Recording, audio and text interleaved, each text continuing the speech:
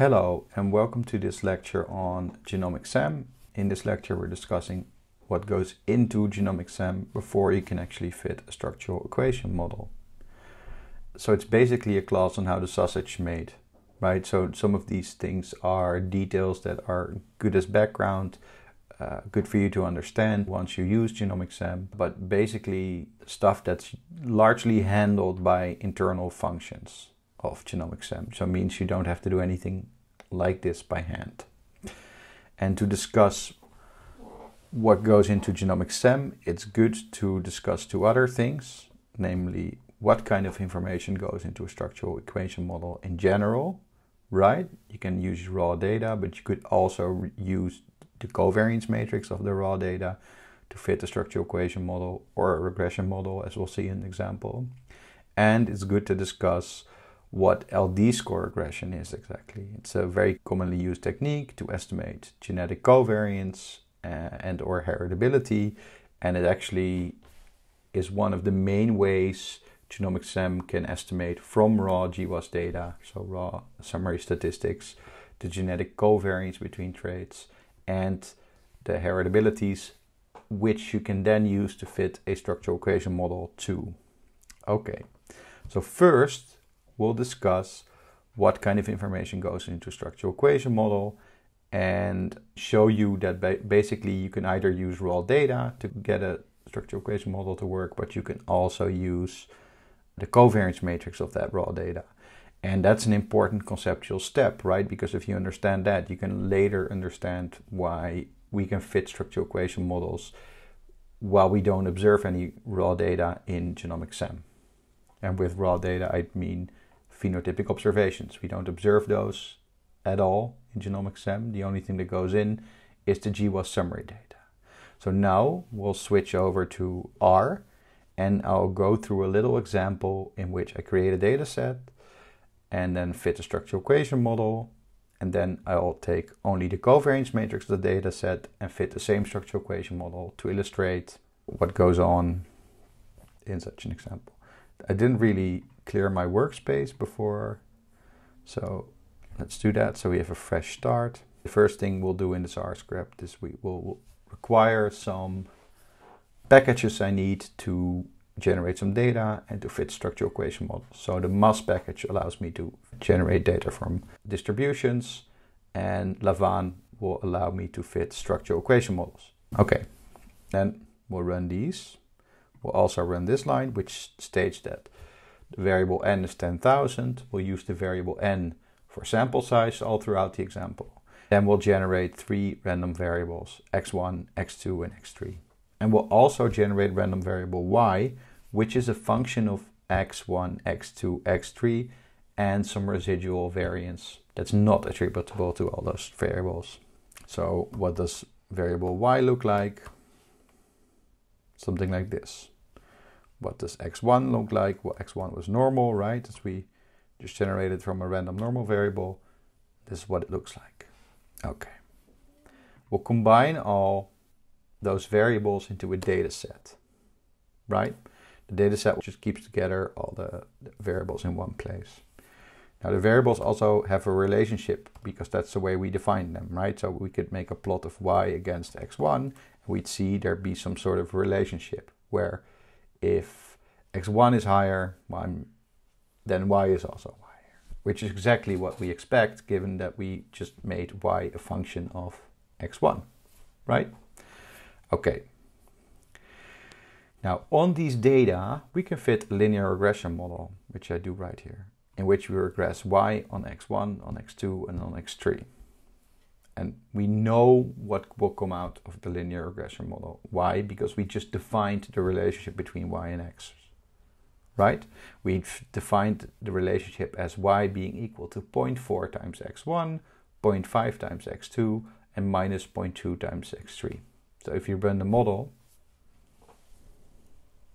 oh, I forgot to run the dataset line. This is instructive. You know, when you when you when you're programming, you always make mistakes. I'm not going to cut it out of the video because I think it's instructive to notice that we also just, you know, mess this up all the time.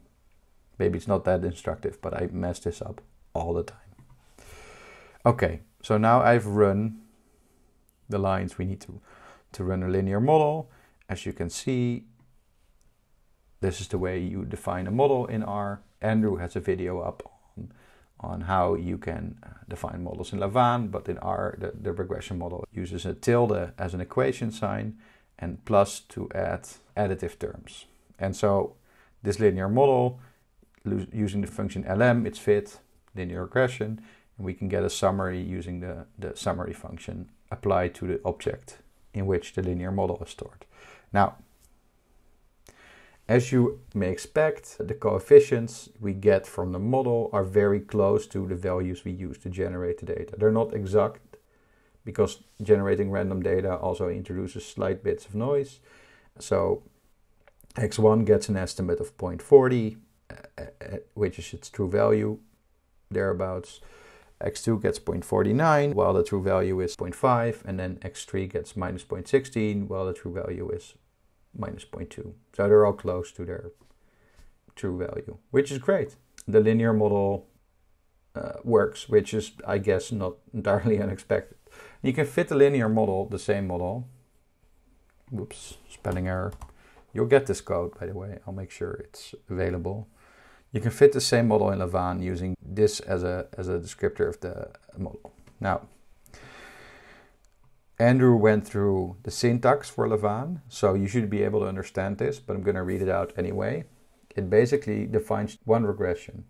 Y is regressed on x1, x2, and x3, and it then explicitly defines the covariance between x1, x2, x1, x3, and actually, I just noticed, it should also include the covariance between x2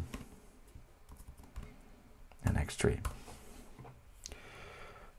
And then using SEM, which is the Lavaan function, and adding the data set we created, the raw data, the observed data to the data argument, we can fit the SEM model. And let's have a look. Now, a structural equation model is capable of estimating the same parameters as a regression model. So here you go. Y regressed on x1, 0.4, Y regressed on x2, 0.49, and Y regressed on x3, minus 0.16. So this is just a very convoluted indirect way to fit the same model. Now notice, because this is a this is a structural equation model, we could fit many, many more models with these four variables. We'd be flexible. We could we could say, well, actually, y is an outcome of x1, 2, and 3, but we suspect x2 to be an outcome of x3, right? And we could fit a mediation model in which y is regressed on all three variables and x2 is regressed on x 3. We could define that model and we could see what the parameter fit is. That's the flexibility you have in Lavaan or a structural equation model or later in genomic SEM, but which you don't have in a linear regression model. That's not the point of this tutorial though, so let's get back to the point. I can create the covariance between uh, the variables in the data set using the cov function in R, right? And I'll get this object sigma which has the covariance in it. Now, if we look at sigma, we'll see a matrix with covariances between y and x1 and x2 and x3. Okay. And we can actually feed that covariance matrix to Lavaan. So we use the same SEM function, the same model. Now, instead of giving it raw data, we're giving it the covariance matrix and we're giving it the number of observations because it needs to know how precisely all the elements in the covariance matrix are fit. And we can run these and we'll get exactly the same or very similar outputs. Right? So this, I am running this on SEM model 2, right? So this is the model that doesn't know about the raw data, it just knows about the covariance. And you get the same regression parameters. Now, this works because in a SEM model, you define the covariance, the cells of the covariance matrix in terms of the regression parameters, and then you ask the model to seek out the regression parameters that minimize the distance between the observed covariance matrix in the data and the covariance matrix implied by the model. And so we don't need the raw data, we could do with the covariance. Now it's nice to have the raw data because sometimes you have missing data points or other sort of things going on where there's extra information hidden in the raw data that's not hidden in the covariance matrix. So it, in many cases it's it's far more valuable to have the raw data. But if you don't, you can fit these kind of models on the covariance matrix. Okay, let's go back to the presentation. So we've covered that you can fit a structural equation model based on the covariances only, and that's a valid input for a structural equation model. Now, the input for Genomic SEM are genetic covariances, which we get from GWAS summary data, right? So only from a factor of each SNP, a RAS number, uh, the effect allele, so which of the two alleles is actually increasing or decreasing the trait, the Z statistic associated with that allele, so that's the test statistic of the, the linear regression association in the GWAS, and that's all, all we're putting into getting the covariances. Now, we'll get those genetic covariances and heritabilities using LD score regression. Now, what is LD score regression? LD score regression actually tries to explain the signal that is created in a GWAS. So this is a Manhattan plot of a GWAS of schizophrenia, and these hits highlighted in green, they only explain 4% of variability. But the heritability, according to twin studies, is 80%. So how do we go about explaining the rest? So if we visualize the same GWAS as a QQ plot, we'd see that the observed p-values are much smaller, so the, therefore the minus log p-values are bigger than what is expected under the expected distribution of a Z statistic. And so the question we, we ask is, is this, this inflation, right? Is this true signal or is it type 1 error? Did we like mess something up? Are we getting all these false positives? And that's the question we're asking ourselves when we're using LD score regression. And so this other really important ingredient for LD score regression is the, the LD structure of the genome. So what I've tried to depict here is a part of the genome and, and each dark blue square is a SNP and the lighter blue squares depict the correlations between the adjacent SNPs.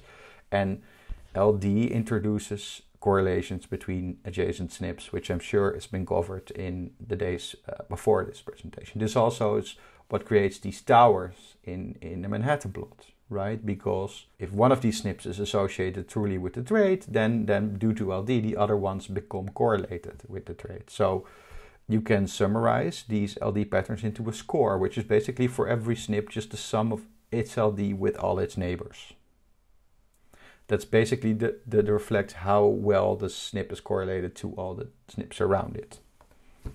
And then consider there is a true genetic effect. Right, so on the left you can see I called this beta, so it's a true effect. So none of these SNPs has an effect except for this one. It has a tiny effect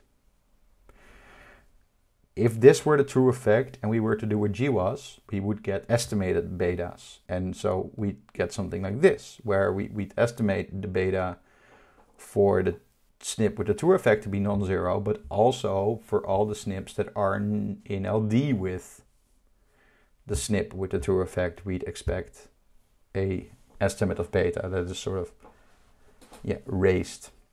Now, what happens on the genome-wide scale is that those test statistics you could derive from, from the linear regression of a trait on every SNP. They go up for SNPs that have more LD. And they go up precisely because so many SNPs in the genome are associated with the traits, right? That if you tag more SNPs as a SNP, you are more likely to tag more true causal SNPs, and therefore your test, your signal goes up and your test statistic goes up. And it goes up in a, in a very specific fashion.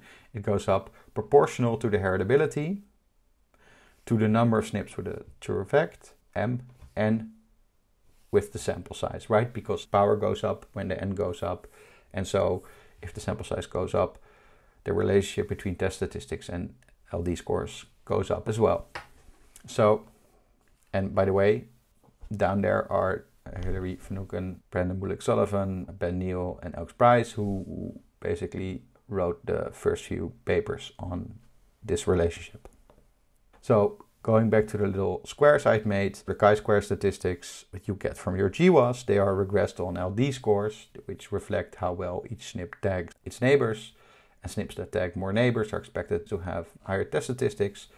And then the slope of that regression is reflective of the heritability because the other unknowns in that equation, sample size and M, are known to us, right? Because we know how big the GWAS was. And then there's an intercept which actually reflects things that do not correlate with LD score, such as population stratification, which is a very neat feature. So now we can separate the true signal from the signal introduced by population stratification.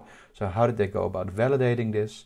They actually did a GWAS of Swedish controls versus UK controls. So neither of these sets of people had a disease, but they differed mainly in their ancestry. And as you can see on the right hand side, the QQ plot of the GWAS, it does look inflated. It does look like there is signal there that is inconsistent with the distribution of test statistics under the null. However, if they plot the LD score of all the SNPs in bins against the test statistic in these bins, then there is no relationship. In other words, the test statistic doesn't go up with the LD, which means the signal is probably not a function of heritability, but a function of something else, in this case, population stratification. Now, if you do it with the real GWAS, like the schizophrenia GWAS we've discussed, uh, you see that there is a steep and consistent correlation between the LD score bin SNP is in and the mean chi-square the SNPs in each of these bins have. So the relationship is strong and it's actually consistent with a SNP heritability for schizophrenia of like 40% and 90% of the signal is true. Okay, so that's how we get an estimate of heritability from GWAS summary statistics. So this slope estimates the heritability, and if we have two traits, we get two slopes, but we can also, instead of using the chi-square test statistic, use the product of the z statistics of the two traits, regress that on the LD score to get an estimate of genetic covariance between traits. So this is an example where the RG is 0.5. We get a slope consistent with that RG, genetic correlation. And this is an example where the RG is zero. We get a slope consistent with there being zero correlation. Okay. And it's robust, this, this entire technique to sample overlap between the GWASs. Now, why is that? Because this intercept, in the case of genetic covariance, will actually absorb the sample overlap.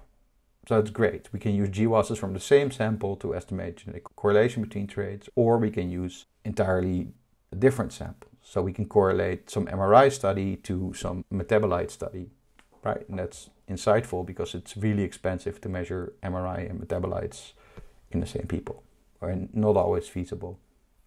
Okay. Phase three of this lecture. What kind of information goes into a genomic structural equation model? Well, so these heritabilities and genetic covariances we have estimated are actually assembled into a matrix S, which holds the genetic variance covariance matrix. So the top left top left entry is the heritability of the first trait, and then all across the diagonal we get the heritabilities of the other traits. And the off diagonal entries are the covariances between the traits. Now, as we've seen at the very beginning of this uh, lecture, a covariance matrix is sufficient to estimate a structural equation model. However, if we use a covariance matrix to estimate a structural equation model in Lavaan, we need a sample size. Now, these estimates don't necessarily really have a sample size. Yes, the underlying GWAS has a sample size, but that doesn't translate directly into a precision or a standard error for these heritabilities. And so we need that information to be presented in a different way. So for every entry in this matrix S, we actually need to know its standard error or its variance. And we also need to know the covariance between the different estimates, right? So imagine I estimate the heritability of height and BMI in one sample, then those as the heritability estimates are interdependent, right? Because it's the same people in that sample that feed into those two estimates. And that dependency needs to be taken account of.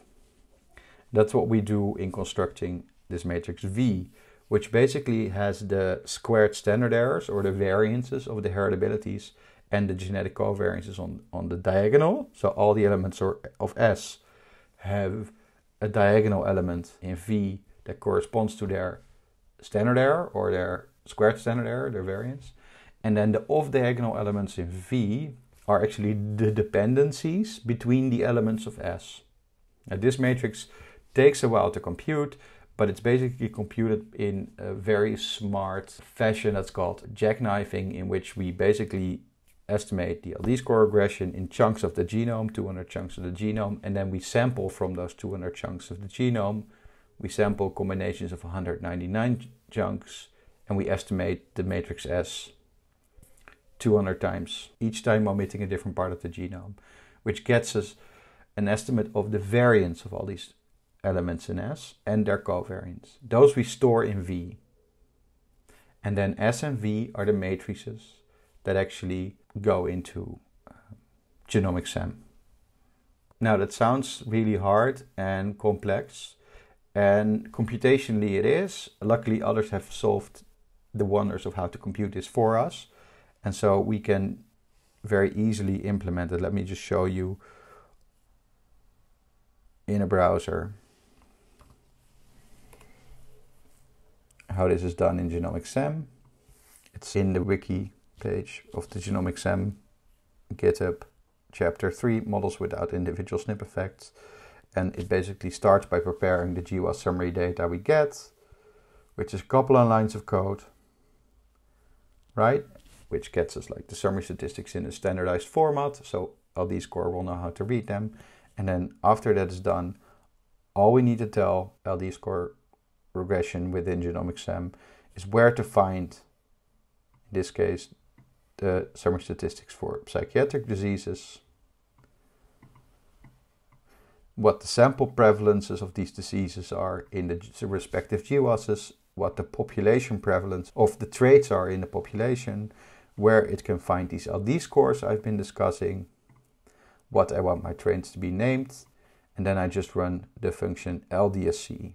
And everything we just discussed, the estimating of S, the estimating of V, is done automatically and it's stored in an object which you can then use to start running Genomic SEM models. It also means you don't need to rerun all those steps. You can store the object you created. So you don't need to rerun LD score all the time. Okay, thank you for joining us for this lecture and catch you in the next one.